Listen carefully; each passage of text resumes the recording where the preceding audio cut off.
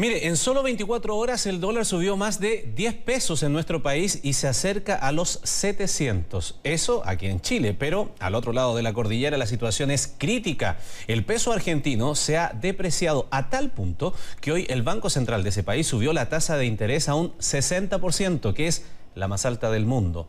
¿Le conviene entonces a los chilenos ir ahora a Argentina? Loreto Álvarez nos cuenta.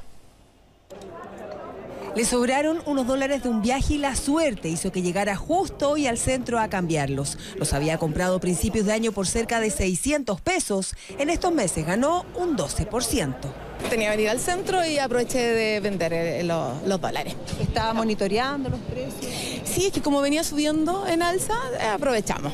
Billete verde que este jueves cerró en 678 pesos, su valor más alto en más de un año.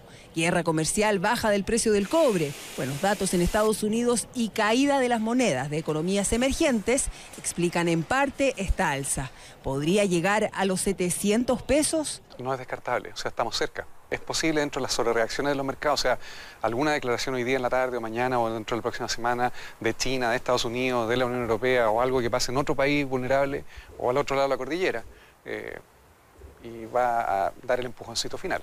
Y es que si en Chile llama la atención un alza diaria de 10 pesos en el tipo de cambio, al otro lado de la cordillera la situación es bastante más extrema.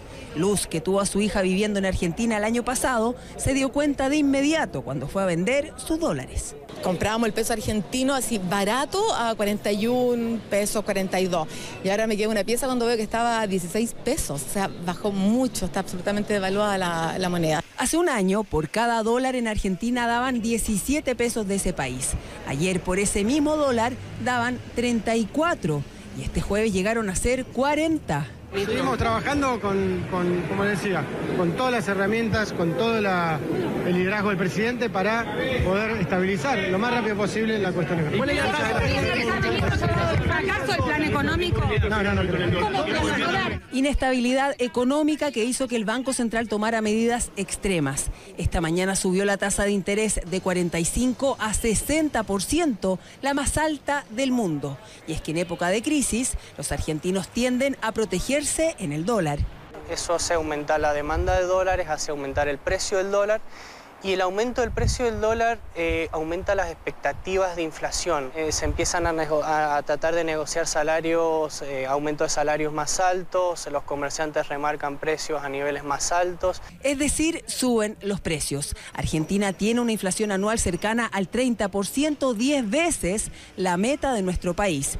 Incluso así, podría ser conveniente para los chilenos cruzar la cordillera y aprovechar el tipo de cambio en, por ejemplo, restaurantes. Cuando estamos hablando de ir a hacer una escapada, ya el simple hecho de lo que uno gasta ya, como es, por ejemplo, salir a comer, a cenar, eh, comprar en tiendas, en todo eso va a encontrar un ahorro o lo va a encontrar más conveniente. ¿Solo por tipo de cambio? Exacto. Dejar la tasa de interés en 60% no fue la única medida que este jueves adoptó el Banco Central argentino para enfrentar la crisis. Salió a vender más de 300 millones de dólares para contener la depreciación de su moneda.